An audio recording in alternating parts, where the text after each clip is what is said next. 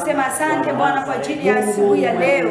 Asante kwa sababu ya wema wako e Bwana ambao umetuonekania. Tunaliinua jina lako e Bwana saa hii, tunasema asante kwa ajili ya kipindi ambacho kipo mbele yetu Bwana. Wanao tunaenda kujifunza e Mfalme, na si neema yako Bwana, tunakusihi Roho Mtakatifu uanze nasi, shuka mahali hapa Bwana, upate kutamalaki, uanze nasi katika kipindi hiki cha kwanza. Tunamwinua mwenao Bwana na mtumishi wako, yeye ni chombo tu Bwana, ukamtumie kama vile ulivyokusudia, ili apate kutufungua na kutufundisha, fahamu zetu zipate kuelewa. Asante Roho wa neema kwa uaminifu wako, kwa sababu utaonekana na utatenda sawasawa na mapenzi yako, katika jina la Yesu Kristo, ndiye Bwana na Mwokozi wa maisha yetu. ambao Bwana tunakwenda kujifunza katika jina la Yesu. Amen. Amen. Tukae. Bwana Yesu asifiwe. Tunamshukuru Mungu aliyetupa neema siku ya leo kwa ajili ya kuwepo tena katika kanisa letu la Christian Pentecostal Revival Church Tanzania, ikiwa ni siku yetu ya kuanza semina yetu ya viongozi, na semina hii inaanza leo tarehe 29 itakwenda kupaka tarehe tatu mwezi wa saba mwaka wa elfu mbili na ishirini na mbili. Hii ni semina ya viongozi wote wa makanisa yetu kutoka mikoa yote ya Tanzania bara na Tanzania visiwani kule Zanzibar, na tunapatikana hapa kanisa la makao makuu lililoko katika jiji la Mwanza na mtaa wa Kisiwani, kata ya Muhandu, wilaya ya Nyamagana, Mwanza. Leo ni siku ya kwanza na tuna masomo mengi ambayo yameandaliwa kwa ajili ya kufundisha viongozi wetu wa makanisa yetu kutoka mikoa mbalimbali. Na leo tunapoanza, tunaamini wewe ni Mungu ambaye itatusaidia kuweza kufika katika kiwango ambacho umekusudia kuwepo. Basi niwakaribishe wale ambao tumekwisha kufika, tuanze na kipindi chetu cha kwanza. Kama umejiweka tayari, niombe ili tuweze kuanza na somo letu la kwanza ambalo litakuwa ni somo tangulizi kati ya masomo yatakayofuata kwa walimu mbalimbali watakao kuwepo. Baba yetu, tunakushukuru, umekuwa mwaminifu na sasa tunakuja kwako ikiwa ni siku yetu ya kwanza ya mafundisho ya semina ya viongozi katika kanisa letu la Christian Pentecostal Revival Church Tanzania, na tunaamini uko pamoja nasi tunapoanza. Tunaomba Mungu tusaidie mambo yote yakafanyike kwa uzuri na kwa utaratibu, na hata viongozi wenzetu ambao wako safarini hawajafika, uwarinde waweze kufika salama, na hata sisi tulio tayari, Bwana utusaidie tunapoanza. Tunakaribisha uwepo wako katika jina la Yesu Kristo tumeomba na hata kuamini, amen. Basi baada ya maombi haya nitangaze rasmi kwamba semina yetu imefunguliwa katika jina la Mungu Baba, Mwana na Roho Mtakatifu. Amen. somo letu la kwanza ambalo tunaanza nalo, tunaanza na somo, kichwa cha somo kinaitwa ninayo ndoto. Ninayo ndoto, ninayo ndoto.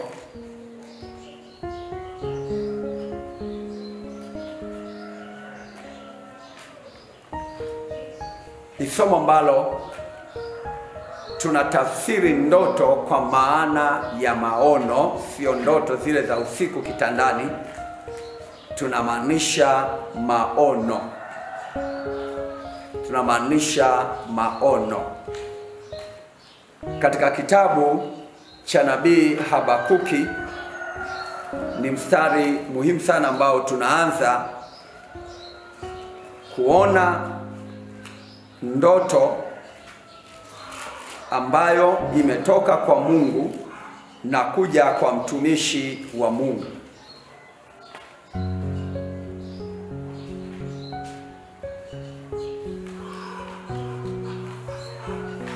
Habakuki sura ya pili.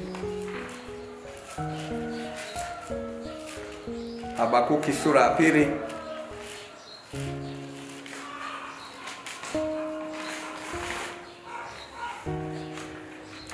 Nianzie tu ule mstari wa kwanza na nitasoma tu mstari michache, mstari michache.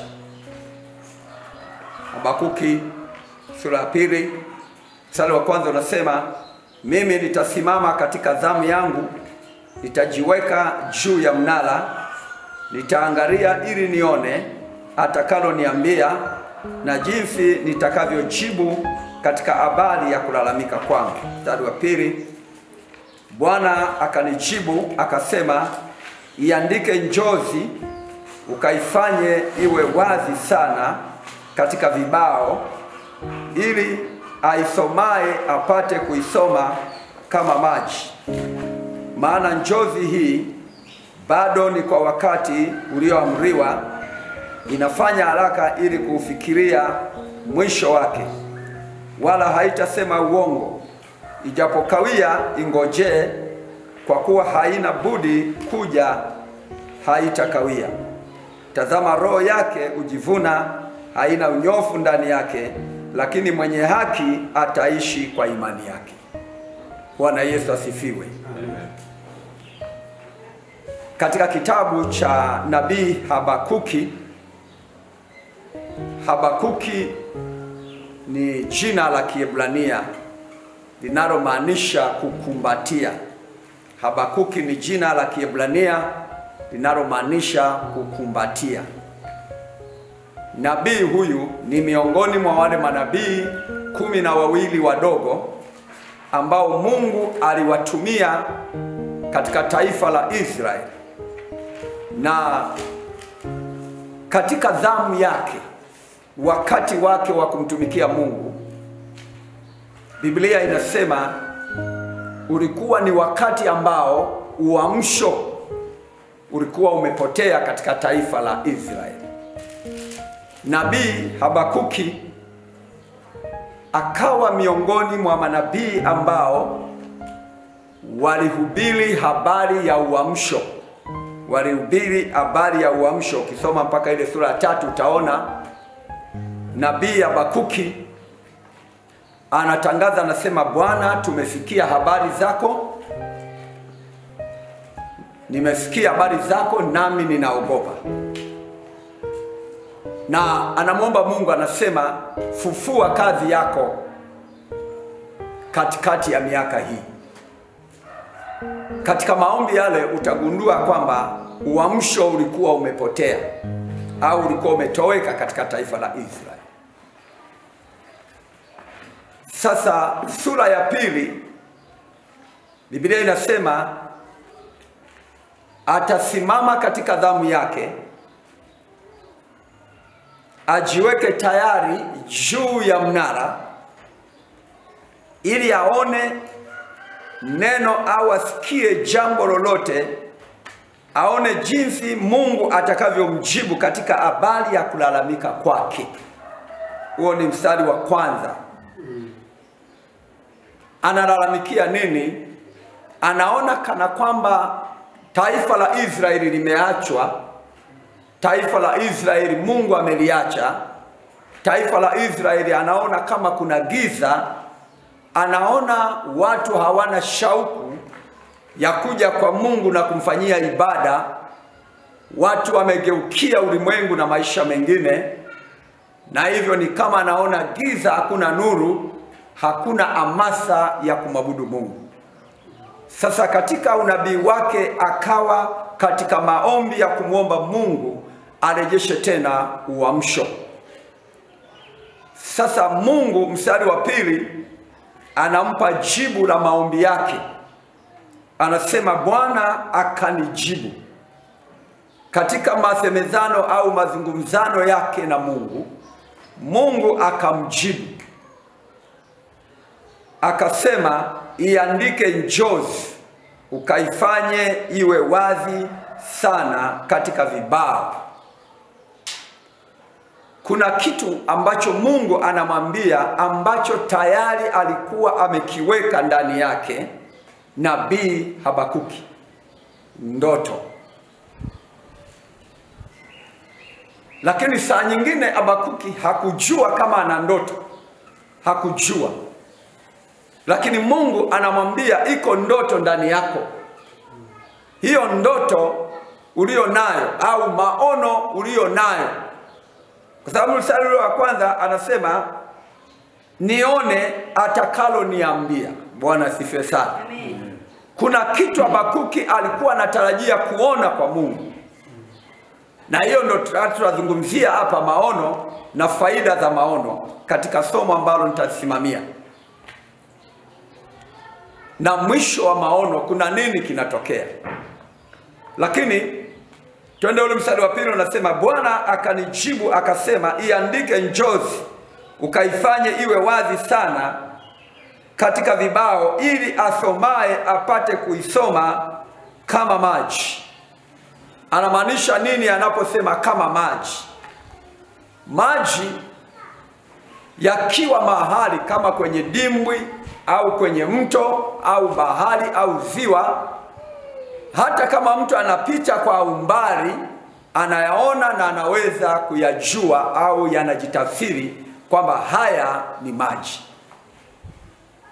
Kwa lugha nyingine, anamwambia bainisha ndoto yako, ionyeshe iwe wazi, onyesha maono uliyo nayo, ili watu wayaone. Wakisha yaona watayafahamu. Kwa lugha nyingine anasema fafanua maono uliyo nayo ili watu wayajue. Wakisha yajua watayatamani au yatawavutia, nao watakuja kuyatumikia. Bwana asifiwe sana. Anasema uiandike ipate kusomeka, au mtu apate kuisoma kama maji. Anachozungumza ni kwamba andika maono. Kila mtumishi wa Mungu aliyeitwa na Mungu kwa ajili ya kufanya kazi ya Mungu ana maono. Kila huduma yoyote ambayo imeanzishwa ya Mungu hapa duniani iko katika maono au ina maono, na kama kila huduma ina maono, kuna mtu anaitwa mbeba maono, kama vile Habakuki alikuwa amebeba maono ya Mungu kwa ajili ya taifa la Israeli. Sasa watu wengine wasingeweza kuyajua maono ya Mungu au ndoto iliyomo ndani ya Habakuki, tofauti na Habakuki kuibainisha, kuitoa, kuibainisha na kuiweka wazi ijulikane. Unajua, mtumishi anaweza akakaa na mtu kama hajam hajamfunulia maono, hajamshirikisha maono aliyonayo aliyobeba watu watamuona yeye kama yeye, lakini maono ya Mungu hawatayaona. watamjua yeye kama yeye, lakini maono ya Mungu hawatayajua. Na kwa sababu watu hawajayajua maono, hata akiwashirikisha utendaji wa kazi fulani, watu watajua wanamfanyia kazi yeye, wala hawafanyii kazi maono ya nani? Ya Mungu. Kwa hiyo utakuta hata utendaji wa kazi watu wanajisukuma. Shida nyingine huwa inasababishwa na kutokuyajua nini? Maono ya Mungu ambayo yako ndani ya mtumishi wake. Mstari wa tatu nasema, maana njozi hii bado ni kwa wakati ulioamliwa, inafanya haraka ili kuufikiria mwisho wake, wala haitasema uongo, ijapokawia ingojee, kwa kuwa haina budi kuja, nayo haitakawia. Bwana sifiwe sana. Maono huwa hayatimii kwa wakati mmoja. Maono yana muda wake wa kutimia. Ndio maana unaweza kuona mtu unaweza kumwambia nina maono ya Mungu, anataka yaone leo au kesho. Asipoyaona anasema hapa hakuna maono. Maono yapo, lakini maono yanapitia hatua kadhaa. Muda sio mrefu nitaenda kuwa kupitisha kwenye zile hatua za maono. Maono yana hatua zake. Mungu anamwambia andika tu, iwe wazi, watu wao wanaendelea kuielewa. Kwa lugha nyingine anasema endelea kufafanua maono, endelea kuyafundisha maono, watu waendelee kuyafahamu, kwa kuwa yapo. Hata yakikawia, yasubiri. Sasa watu wengi hawana muda wa kusubiri maono, wanataka tu yatimie papo kwa papo, ndio inakuwa ni shida ambayo inatusumbua. Inasema haitasema uongo. Maono huwa hayasemi uongo, maono huwa hayakosei, na nitakwambia kwa nini hayakosei. Maono huwa hayakosei, hayasemi uongo. Maono hutimia hata kama yakikawia. Bwana sifiwe sana. Mstari wa nne unasema tazama, roho yake hujivuna, haina unyofu ndani yake. Kuna watu unaweza kuwa nao kwenye maono, lakini wana roho ya kiburi, roho ya kujivuna, hawana unyoofu. Unyoofu tafsiri yake nyingine nini? Uadilifu. Tafsiri yake nyingine nini? Hofu ya Mungu. Ukiwa na watu wa namna hiyo, wenye kiburi, wanaojivuna, wasio na unyoofu, wasio na uadilifu, wasio na hofu ya Mungu, ni hatari kwa maono, ni hatari hatari kwa maono ya Mungu, lakini hatari kwa mbeba maono. Lakini ukipata watu sahihi, wanyoofu, waadilifu, walio na hofu ya Mungu, hao ni faida kwa maono ya Mungu na ni faida kwa mbeba maono pia. Wanyoofu, waadilifu na wenye hofu ya Mungu wako tayari kushirikiana na mbeba maono kuyabeba au kuyatumikia maono ya Mungu mpaka yatimie kwa gharama yoyote. Lakini wenye kiburi hawana subira, wenye kujivuna hawana uvumilivu, na wanataka kujigamba na kuonekana, ikiwezekana wawe ni wao waliobeba yale maono. Na hatari ya maono ni kwamba maono huwa hayataki ugomvi. Maono ya Mungu hayataki ugomvi. Mkianza kugombana tu, maono yanasimama, sababu mnayaumiza, mnayajeruhi, hamtayatumikia kwa usahihi. Yanasimama, hayatembei. Haijalishi mnagombania nafasi za vyeo, haijalishi mnagombania thamani iliyomo katika maono, yamesimama tayari, mmeyasimamisha hayatatimia.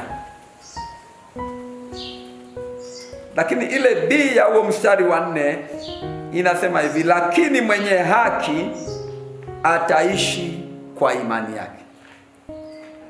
Mwenye haki, mwadilifu yule, mwenye hofu, mnyoofu, huwa anaishi kwa imani yake. Bwana asifiwe. Amen. Bwana Yesu asifiwe. Amen. Sasa wapendwa, katika huduma yetu ya Christian Pentecostal Revival Church ni huduma inayoongozwa na maono ya Mungu, si huduma inayoongozwa na ndoto za mwanadamu. Ni huduma inayoongozwa na maono ya Mungu. Maono haya yalitoka kwa Mungu mwenyewe yakamfikia mtumishi wake kuhani Dr. Mafuru ambaye amesimama mbele yenu na anafundisha somo hili, na kichwa cha ujumbe kinasema ninayo ndoto au ninayo maono ya Mungu ndani yangu. Haleluya! Kuna namna ya kuyashika maono na kuyatere, kuyatekeleza maono ya kimungu. Nataka uandike hivyo, kushika na kutekeleza maono ya kimungu. Waibrania sura ya 11 mstari wa 11.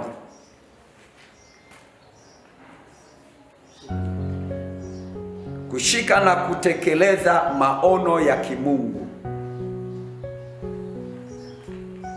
Walaka huu wa Waibrania ni waraka ambao mwandishi wake hakutambulika. Watu wana wana wanakisia, wengine wanasema Apollo au Klementi au Paul, lakini ukweli ni kwamba mwandishi wake hakujulikana. Hasa wengi wanawekeza sana mawazo kuhusu Paulo mtume kulingana na zile sentesi zilizotajwa ndani zinazomtaja Timotheo ambaye alikuwa ni mtendakazi chini ya Paulo, lakini waraka huu mwandishi wake hakubainisha jina lake kama nyaraka zingine. Kwa hiyo mara nyingi imeleta shida kwa wasomi wa theolojia na wamekuwa wanashindwa kumtaja moja kwa moja. Kwa hiyo tuseme waraka ulioandikwa na mwandishi ambaye hakujitambulisha jina lake. Usoma sura ya kwanza na ya pili na ya tatu utaona ya kwamba sura ya kwanza inaonyesha kwamba mwandishi wa waraka huu wa Waibrania alikuwa Mwebrania. Maana anapoanza kusema kwamba siku za zamani Mungu aliongea au alizungumza na baba zetu, kwa hiyo utajua, na waraka umeandikwa kwa Waibrania, kwa hiyo utajua alikuwa Mwebrania, japokuwa jina lake hakulitaja. Na anasema mwisho wa siku hizi amezungumza na sisi kupitia mwana ambaye sasa ni Yesu Kristo. Kwa hiyo utaona pia pointi ya pili, alikuwa anamwamini Yesu Kristo au alikuwa na imani juu ya mwana wa Mungu ambaye ni Yesu Kristo. Kwa hiyo ukija sura ya pili utaona pia kuna mstari mkuu pale, anasema Yesu Kristo ndiye mwanzilishi wa imani yetu na ndiye anayeiendeleza na ndiye atakayeikamilisha. Kwa hiyo bado pia anaonyesha uthabiti wake wa imani kuhusu Yesu Kristo. Lakini hiyo sura ya pili ukija kuunganisha na ya tatu, utaona anazungumzia swali, anasema sisi je, tutapataje kupona tusipoujali wokovu mkuu namna hii ambao kwanza ulinenwa na Bwana ukadhibitika kwetu na kadhalika na kadhalika. Ukienda sura ya nne utaona anazungumzia habari ya pumziko. Anasema ya kwamba wako watu walimkasirisha Mungu alipokuwa anasafiri jangwani.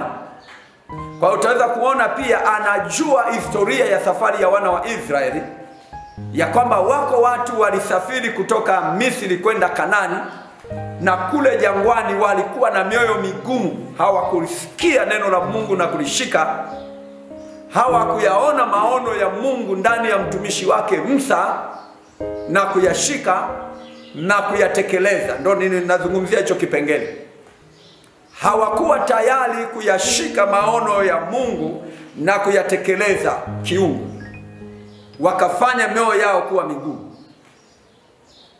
japo walisikia sauti na anazungumza anasema, Kilichowasumbua ni kwamba walisikia, lakini hawakuchanganya na imani lile neno la Mungu. Kile walichokisikia hawakukichanganya na imani. Kwa hiyo ni kama kiliingilia sikio la upande huu kikatokea sikio la upande huu, na kwa sababu hiyo Biblia inasema waliangamia jangwani.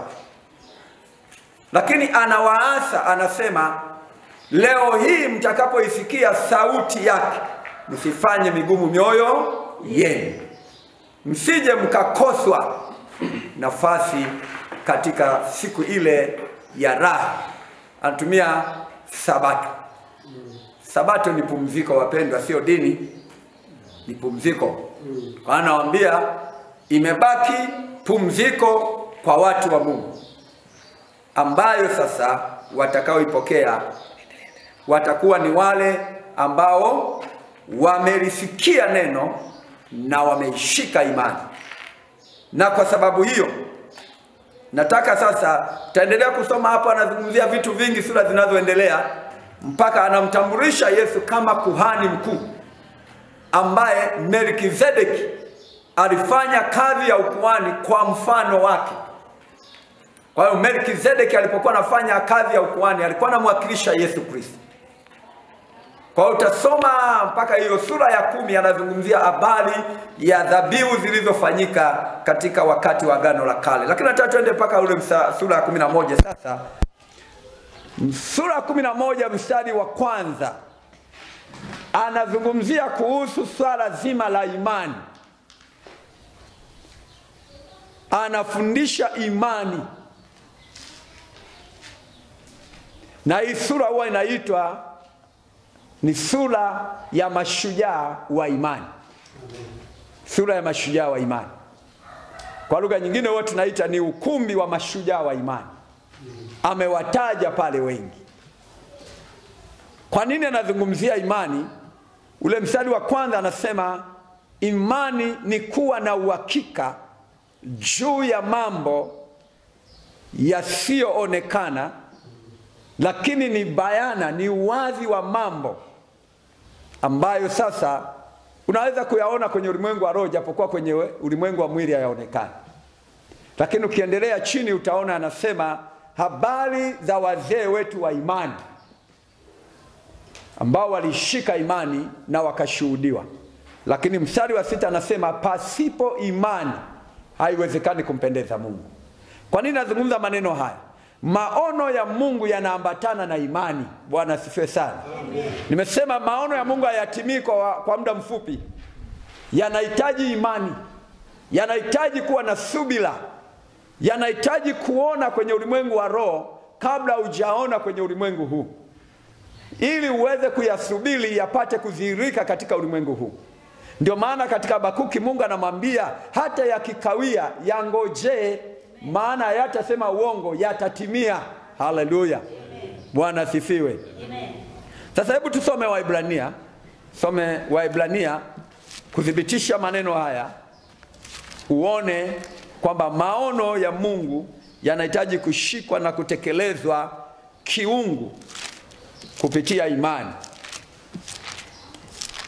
yanatekelezwa, yanashikwa na kutekelezwa kiungu kupitia imani. Sura ya kumi na moja nianze tu mstari wa kwanza mpaka ule wa kumi na tatu nitakuwa nimeeleweka vizuri. Hata sauti hii itakuwa imejenga imani, kwa sababu imani huja kwa kusikia neno.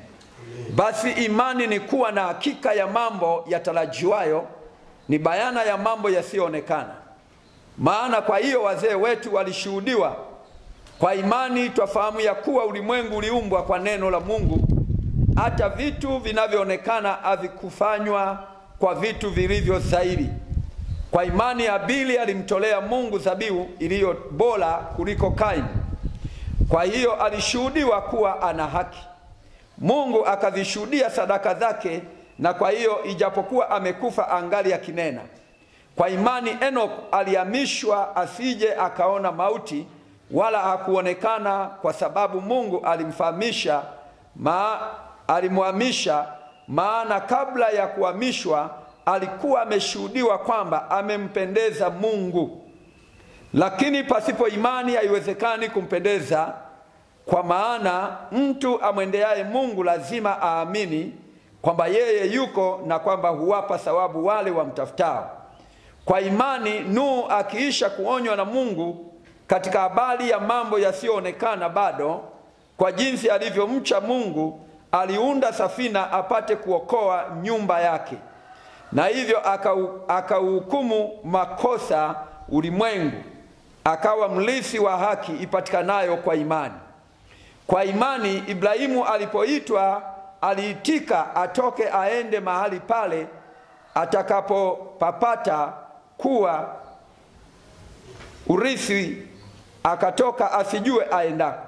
Kwa imani alikaa ugenini katika ile nchi ya ahadi, katika kama katika nchi isiyo yake, akikaa katika hema pamoja na Isaka na Yakobo, warithi pamoja naye wa ahadi ile ile maana alikuwa akiutazamia mji wenye misingi ambao mwenye kuubuni na kuujenga ni Mungu.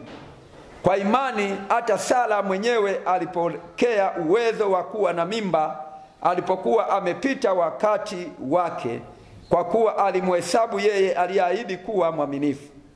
Na kwa ajili ya hayo wakadhaliwa na mtu mmoja, naye alikuwa kama mfu watu wengi kama nyota za mbinguni, mwi wingi wao na kama mchanga ulio ufuoni usioweza kuhesabika.